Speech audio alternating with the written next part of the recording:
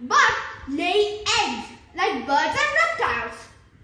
And as I was telling earlier, we all know that the platypus is a monotreme.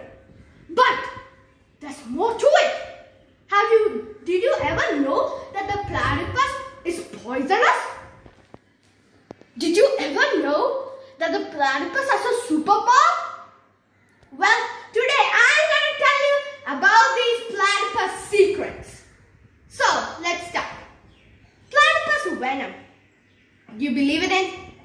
Most of you may know. Venom is usually in snakes, fro- snakes mainly, and me- maybe even bugs or spiders. But platypuses have it. Big spike. This spike is on the back of their legs. So what are the effects of this venom? Hmm? Luckily, don't worry, they are not lethal. For humans, they can only give you severe burns for a week. And for smaller animals, they can paralyze them, which means they can't move. So, that is the effects of platypus venom.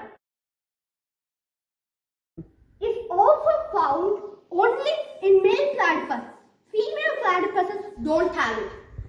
So, platypus defense and venom is covered. But what about their superpower? Their superpower is in the part which gave them the name duck bill. It's on their bill. Their superpower is one called electroreception. These things are small, tiny, tiny dots. These are on their bill. Lot of animals like sharks, cockroaches, and yeah, many others have this.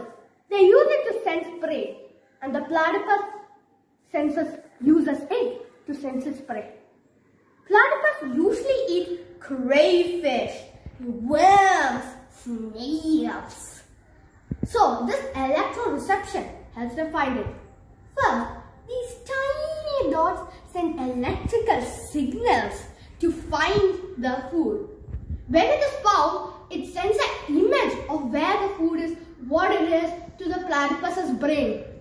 And then strength kicks in. The platypus dives, it bites. And if the prey fights back, the platypus fights. And when the prey is caught, it goes up back to the ground. From there, the platypus breaks it down because platypus don't have teeth. So they break it down to eat it. They break it down by swallowing stones. These stones go into the stomach of the platypus and the plant and the stones hammer down the food and help the platypus swallow. The stones will still remain solid, but they pass out. So we've covered platypus electroreception, venom. But the platypus has even more. Amazing, right? But from the very from the bill, we have to travel back down to the platypus's legs to hear its story. Platypus dig burrows in which they lay their eggs. And from there, one maybe, two or one little babies will hatch from those eggs. But digging it is not easy. First, platypus have webbed feet, which makes it really hard to dig. But the platypus has does something incredible. It can pull in its webbings back into its hand. So no webbings, only painful nails. And it uses these nails to dig a burrow. These nails also help it to run away from predators. These are the amazing powers of the platypus. But there's one thing I want to tell you. Platypus are really, really threatened. Platypus, not really threatened, they're in a status called near threatened, which means they are about to become endangered, vulnerable, or critically endangered. What? So platypuses are near threatened. They are not yet endangered, but they still need our conservation before it's too late. The platypus is an amazing animal. It's a one-of-a-kind animal.